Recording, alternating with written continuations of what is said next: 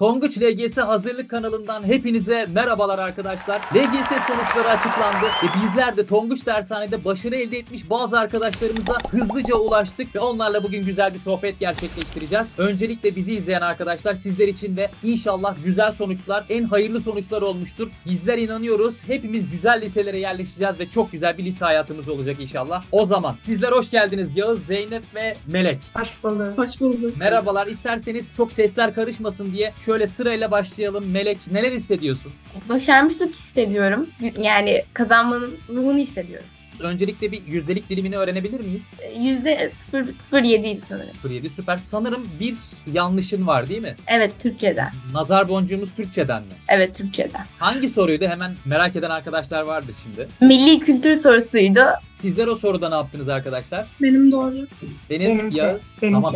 Birazdan e, sizler neler yaptınız onlardan da bahsedeceğiz ama Melek seni tekrardan tebrik ediyorum. Şimdi önümüzde güzel bir süreç var ama biraz istersen o yaşadığımız LGS sürecini hatırlayalım. Hepimiz için zorluydu. Senin için bir yıl nasıl geçti? Nasıl hazırlandın LGS'ye? Ben LGS'ye zaten e, Galatasaray kazanacağım diye başladım 7. sınıfın ortalarında artık. İlk konularla başladım. Günde yani 100-150 soru civarıyla başladım. Tonguç Akademi ile e, 7'den 8'e kampıyla katıldım. Yani O başladım. başlangıçta 7'den 8'e ile başladın yılın başında. Bu tabii ki Evet. bizi izleyen 7. sınıf arkadaşlar için çok güzel bir rehber olacak bu video. Sonrasında e, Tonguç Dershane'deki kısmı da e, sorabilirim. Tonguç Dershane'de neler yaptınız sene boyunca? Ben Tonguç dershanedeki denemelere katılacak vaktim pek olmuyordu. Bizim okulumuz çok deneme yapıyordu. Derslere ak- katılımım vardı. Derslerden verim alıyordum. O şekildeydi. Canlı derslere sık sık katılabiliyordun yani. Evet. Gayet güzel. Peki denemelerden konu açılmışken ne sıklıkla deneme oluyordun? Özellikle senenin başında belki daha azdı tabii ki ama ne sıklıkla deneme oluyordun? Biz senenin başlarında haftada bir deneme oluyorduk ama ben evde de hani bir iki tane falan oluyordu maksimum. Senenin ortalarında haftada 2-3 olmuştu. Senenin sonlarına doğru her gün deneme oluyorduk biz okulda. Peki deneme sonuçlarını kıyasladığımızda beklediğin gibi bir sonuç oldu mu? Mesela denemelerde bazen daha kötü olduğun zamanlar oldu mu ya da full çektiğin zamanlar oldu mu? Denemelerde full çektiğim bir iki tane oldu ama e, benim çok kötü yaptığım deneme sonuçlarım da vardı. 6 yanlışım falan oluyordu. Hı hı. Benim 6 yanlış zaten en çok yanlış yaptığımda çok moralim bozulmuştu. Hatta LGS yakın zamanlarda yaptım. ikinci dönem yaptım ikisinde. Ama e, son hafta da hatta girdiğimiz denemelerde ben hiçbir yanlış yakın yapmadım. Ama LGS sonucum bir yanlış. Olsun çok çok iyi bir sonuç gerçekten. Tebrik ediyorum tekrardan. Hedef neresi peki? Yani hedef şu an Galatasaray Lisesi. İnşallah e, hayal ettiğin liseye kavuşursun. Zaten Galatasaray olmasa da çok güzel bir liseye gideceğinden eminim. O zaman kime geçiyorum? Yağız'a geçiyorum. Yağız selamlar tekrardan. Merhaba. Seni de kutluyoruz. Teşekkür ederim. Senin de yüzdelik dilimini bir öğrenelim istersen. Benim de herhalde 0.16 idi. Senin yaptığın o küçük hatalar neredendi Yağız? Bir tanesinde e, Almanya'nın Almanya'nın İtalya alakalı bir tane sorusu vardı. Onunla kafam karışmıştı. Yanlışlıkla işaretledim. Matematikte de kaç tane çubuk yerleştirebilir sorusunu yanlış yapmıştım. Canın sağ olsun. Bunlar bizim hep nazar boncuklarımız. Peki sen sınav bitti. Bittiğinde ne hissettin? Yani o tam LGS'den çıktığın anda. Kendimi gerçekten rahatlamış olarak hissettim. Sonuç ne olursa olsun. Sene boyunca biraz stres yaptın mı peki? Evet. Hatta son zamanlarda doğru çok yaptım. Neden oldu sence bu kadar stres? Ya denemelerimde ciddi bir düşüş yaşadım. O yüzden olmuş olabilir. Hmm, onunla alakalı. Peki sene içerisinde nasıl bir çalışma yaptın? Sana da soralım. Ben genellikle elimden geldiği kadar denemelere girmeye çalıştım. Onlarla beraber sonuçlarımı gördüm, eksiklerimi anladım, onları tekrar ettim, bol bol soru çözdüm. Denemelerdeki hatalarını ne yapıyordun mesela? Denemede bir hata çıktı. Kitabı kapatıp canım sağ olsun deyip devam mı ediyordu hayatına yoksa onlarla ilgili bir çalışma yapıyor muydun? Bunların hepsini yazdım. Ondan sonra öğretmenlerime sordum, onları tekrar ettim. Konularda iyi olana kadar soru çözdüm. Sen Tonguç Dershane'de nasıl faydalandın Yağız? Canlı dersleri, canlı dersleri izledim, videolarını izledim. Dedim bazı denemelerine katıldım, onları çözdüm, yararları oldu. Koçunla görüşüyor muydun? Koçumla elimden geldiğince eksik olduğum konularda görüştüm. Peki senin hedefinde hangi okul var? Ankara Fen Lisesi. Ankara Fen Lisesi. Gayet güzel bir okul. Birazdan sana da döneceğim tekrardan Yağız. Geçtik Zeynep'e. Zeynep seni de bir kutluyoruz. Teşekkürler hocam. LGS sonucundan mutlu musun? Bak değişik bir soru sordum Yani sana. aslında biraz daha iyi bekliyordum diye. Ya yapma bunu daha ne olsun Biraz, ya. Daha ne olsun matematikte biraz ya. fazla kötü yaptığımı düşünüyorum. Öyle mi? Matematikten 3 yanlışım var çünkü. Bütün toplam yanlışların da matematikten galiba değil mi? Bir tane de fen var. Bir tane de fenin var. Peki sen bugün sonucunu öğrendikten sonra zaten az çok biliyordun, tahmin ediyordun ama neler hissettin? İlk kiminle paylaştın? Annenle, babanla, başka biriyle? Bana sonucumu annem söyledi. Aslında Tam ben bakamadın mı? Yok ben uyuyordum. Sonra Beni dedem uyandırdı. Annem Aha. aramış. İşte annem içerideydi. Bana sonucumu söyledi işte. 1,1'lik dilime girmişsin diye. Gayet güzel. Ee, onlarla beraber mutluluğunu paylaştın. Peki senin Evet. bir senen nasıl geçti? Mesela sen günde kaç saat ders çalışırdın Zeynep? Ben günde daha çok saat tutmuyordum. Ama benim okulum erken bittiği için yaklaşık bir saat yemek ve dinlenme arasından sonra bayağı bir çalışma vaktim oluyordu. Okulum 1.40 gibi bitiyordu ki de evdeydim yani. Ben bir de yurt dışında olduğum için biraz sistem farklıydı. Cumartesi günleri de okulum vardı. LGS'ye nerede girdin peki?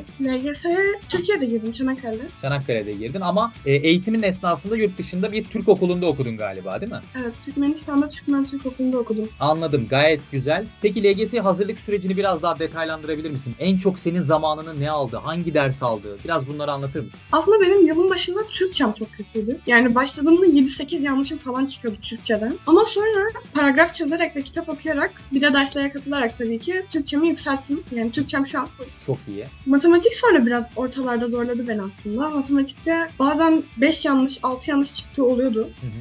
Sonrasında yine yükselttim onu da ama tabii ki LGS'de biraz kötü o. Hiç önemli değil ya. Dediğim gibi aslında kötü değil. Arkadaşlarımız da kızarlar. Bak bizi izleyen arkadaşlarımız derler ki 2-3 tane yanlış yapmışlar. Bize gelmişler kötü oluyor. geçti diyor. Kız kızıyorlar böyle şeylere biliyorsun. Haklılar da Evet. yani. Ya, tabii ki herkesin hedefleri farklıydı. Çalışma sistemi farklıydı. O yüzden herkesi anlıyoruz. Dediğim gibi ben birçok arkadaşımızın bu sınavdan istediği sonuçla ayrılacağına inanıyorum. Güzel geçtiğine inanıyorum. Peki sen LGS'ye hazırlanmaya ne zaman başladın? 7. sınıftan itibaren başladın mı? Ben LGS'ye hazırlanmaya aslında 7. sınıfın ikinci döneminden itibaren yavaştan başladım diyebilirim. 7. sınıfın sonrasında yazın biz Tonguç dershaneye aldık. Hı. Ağustos'la beraber derslere başladım aslında ben. Hı hı. Online derslere genelde aktif olarak katıldım. Ben yılın başında aslında 60 soruyla falan başladım çözmeye. Gün içinde çok ders çalışmıyordum yani. Sene Hatta çoğu zaman ekrandaydım diyebilirim. Öyle mi? Evet. Ekranda Yılın tele- telefona biraz- mı bakıyordun sürekli? Yani tablete falan. Yılın Ha. başlarında biraz öyle başladım aslında. Ama sonra bayağı bir yükseltmeye başladım yani. Yavaş yavaş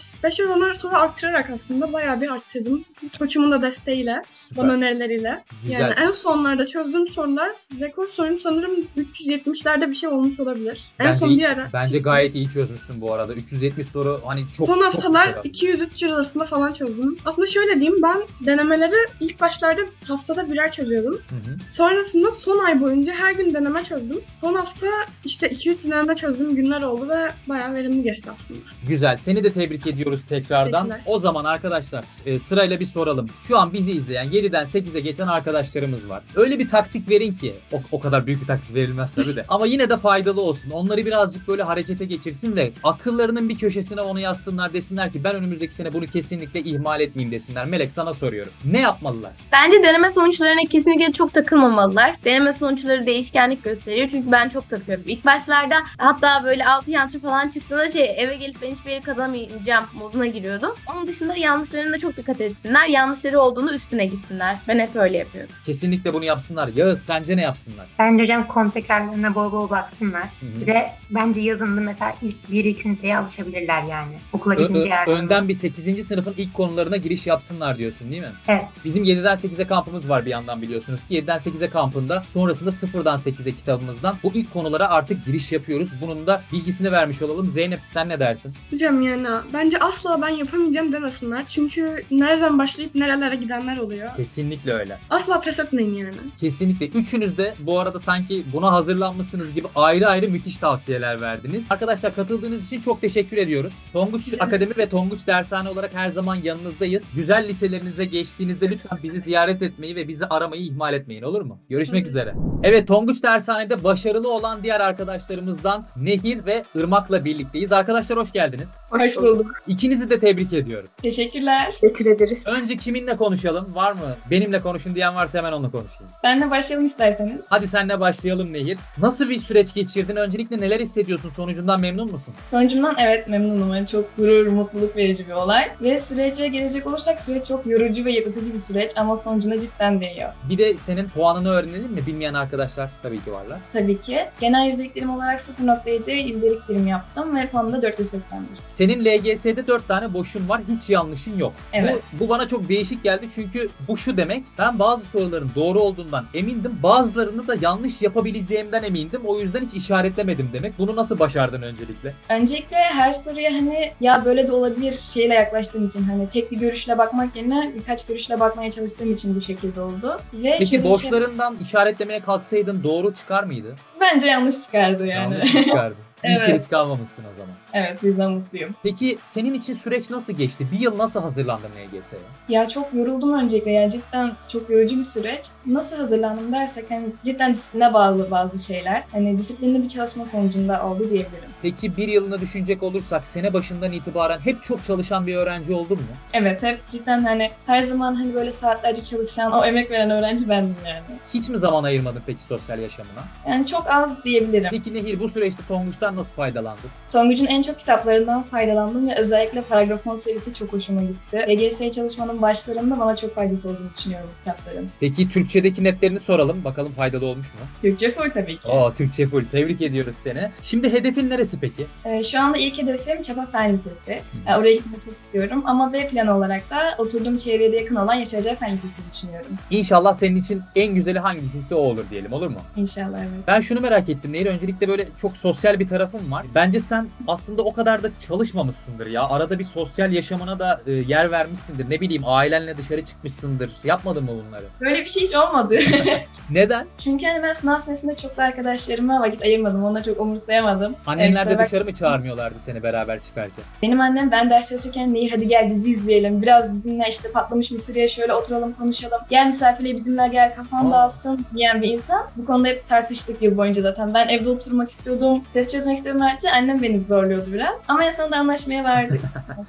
çok zorlamadı artık. Son olarak hani birazdan tekrardan sana geleceğim ama e, bu süreçte seni en çok yoran, en çok yıpratan şey ne oldu? E, hatalı sorulara sürekli geri dönmem gerektiğini düşünüyordum ve onları pek çok kez çözdüm. Bu çok zorlayıcı geldi bir yerden sonra. O zaman Irmak seni tekrardan tebrik edelim öncelikle. Teşekkür ederim. Sen neler yaptın? Bir senen nasıl geçti? Sene boyunca bir en başını düşünecek olursak nasıl başladın bu yolculuğa? Ee, bu 7'den 8'e hazırlıkla başladım ben. Aha. Yani oradan giyinesile hazırlıkla geçti. Daha sonra sene boyu full denemelerle ve ödevlerle geçti açıkçası. Sene boyunca çok ödev veriliyor muydu peki? Evet bize öğretmenlerimiz aslında çok ödev vermeyeceğiz demişlerdi ama yığdılar. Yani benim zamanım kalmamıştı. Hmm. O kadar ödev veriyorlar. Programın nasıldı mesela ders çalışma programı?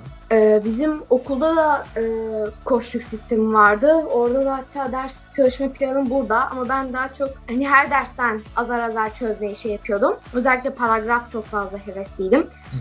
Çünkü paragraf diğer derslerin de daha faydalı olduğunu düşünüyorum. Özellikle mesela fende mesela paragraf geliyor mesela. Kesinlikle. Onu hep düşünüyoruz. Matematikte de öyle aslında. Bize hikaye anlatıyorlar. Biz o hikaye, hikayeyi çözüyoruz. Evet. Bütün derslerde paragraf var. Paragraf Peki gün- var. günlük soru çözümün nasıldı? Yani her gün minimum şu kadar soru çözerdim diyebiliyor musun? Yok. Değil Yani o mi? çok değişir benim. Ha değişken de. Evet Nehir bazen senin hiç zamanım olmaz. Bazen çok zamanım olur. belli Tabii. olmaz. Nehir senin belli miydi? Ee, ben de bu konuda Irmak'a katılıyorum. Benim de asla öyle bir sınırım yoktu yani. Kendimi rahatsız edene kadar. Yani kendimi Anladım. of be tamam çalıştım diyene kadar. Anladım. Güzel. Peki bunun dışında neler yaptın Irmak? Ee, ben full e, Tonguç'un derslerine girdim. Hani her derse katıldım. Katılmadığım ders yoktur. Daha sonra denemelerine de hani bazı denemelerine tabii ki giremedim ama girdiklerim de oldu. Daha sonra kitaplarından da soru çözdüm. Özellikle paragraf benim için. Canlı derslere aktif bir şekilde katılıyordun. Evet. Canlı dersler açıkçası okuldan hani okulda işlediğimiz konuyu ben hemen bitirmiş oluyordum. Yani okulda ben biliyordum o konuları. Yani daha önceden işlemiş oluyordum çünkü ve bu açıkçası çok faydalı bir şey. Daha önceden yolun açık oluyor. Daha ilk baş bir soru gördüğün zaman onu yapmış oluyorsun. Ya da derslerimize soru çözüm dersleri oluyor ya da derslerde de sorular çözüyoruz. Oradaki sorular da açıkçası çok büyük bir avantaj. LGS sorularını da çözdük. Yani bir şeyle karşılaştığında hiç şaşırmıyorsun. Evet ben zaten bunu daha önceden Tonguç Dershane'de görmüştüm. Ben artık bunu yaparım diye bir özgüven de sağlıyor. Süper. Evet. Peki senin hedefin neresi? Benim hedefim Ramazan Yaman Fen Lisesi. Hı hı. Bulunduğun şey Kırklareli'ydi galiba değil mi? Evet. Oranın sanırım en iyi açıkçası bilmiyorum ama en iyi lisesi olabilir orasının. Evet. İnşallah gönlündeki gibi o okula da yerleşirsin ve çok güzel bir lise hayatın olur diyeyim. İnşallah. O zaman son olarak 2011 tayfa şimdiden çok heyecanlılar, çok istekliler. Onlara bir tavsiye verseniz ne olur? Benim onlara ilk tavsiyem etraftan aldığı tavsiyeleri kendi süzgeçlerinden geçirdikten sonra bunu uygulamaya koymaları. Yani bir insan onlara günde 200 soru çöz dediğinde bu ona ne kadar uygun? Hani bunu yapabilir mi? Bunu verimli bir şekilde yapabilir mi? Bunları düşündükten sonra yapmalarını tavsiye ederim. Ve hedeflerine daima bağlı kalmalarını tavsiye ederim. Peki sen hedefine nasıl bağlı kalıyordun? Sürekli onu kendinize hatırlatın. Yani örneğin tabletinizin ana sayfasına veya mantar panunuza falan bunu asarak kendinize onu sürekli hatırlatarak kendinizi içten içe sürekli motive edebilirsiniz. Bu harika bir motivasyon sağlar sizin için. Kesinlikle öyle. Peki Irmak senden bir tavsiye alalım. Bence bol bol denemelere girsinler çünkü denemelere girdikçe daha fazla soru tarzı görmüş oluyorlar. Farklı farklı sürekli soru tarzı görmüş oluyorlar. Bir de açıkçası strese kapılmasınlar. Stres en büyük baş düşmanı. Ben çok çektim stresten. Neden Hani bu kadar stres yaptın? Ben sınavda da zaten o yüzden yanlış yaptım o 4 soruyu. Senin canın sağ olsun Irmak gerçekten. Bunlar hayatın bir parçası. Şimdi önümüzde lise var ve sonrasında YKS sınavı var. Ben sizi çok güzel üniversitelerde de göreceğime inanıyorum ama şimdilik lütfen tatilin tadını çıkarın. Bu kadar kendinizi he- hele sen ki Nehir yani bu kadar kendini yıpratmışsın. Lütfen annenlerle bir vakit geçir, bir dışarı çıkın, bir kendinize gelin olur mu? Tamamdır evet. Katıldığınız için çok teşekkür ediyorum ikinize de. Ben teşekkür ederim. Kendinize çok iyi bakın arkadaşlar. Kendinize çok iyi bakın. Ben bir yandan videomuzun finalini yapayım. Bugün Tonguç Dershane'de başarılı olmuş arkadaşlarımızı ağırladık. Onlardan daha çok var. Mümkün olduğunca ilerleyen videolarda onları da konuk alırız inşallah. Kendinize çok iyi bakın. Tercih döneminde şimdiden hepinize kolaylıklar ve başarılar diliyorum arkadaşlar. Hoşçakalın. Görüşmek üzere. Görüşürüz. Görüşürüz. We'll be right back.